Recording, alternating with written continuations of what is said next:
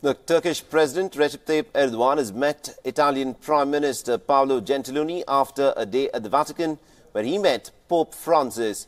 Now, the talks with the Pope focused on Jerusalem and also the global controversy caused by US President Donald Trump's decision to recognize it as the capital of Israel.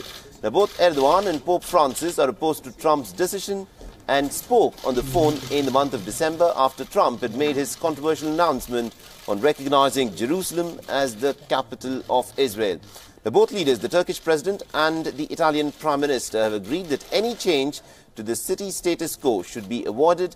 The Vatican also backs a two-state solution to the Palestinian-Israeli conflict, with both sides agreeing on the status of Jerusalem as a part of the peace process. Now, this was, of course, the first visit by a Turkish president to the Vatican in over 59 years.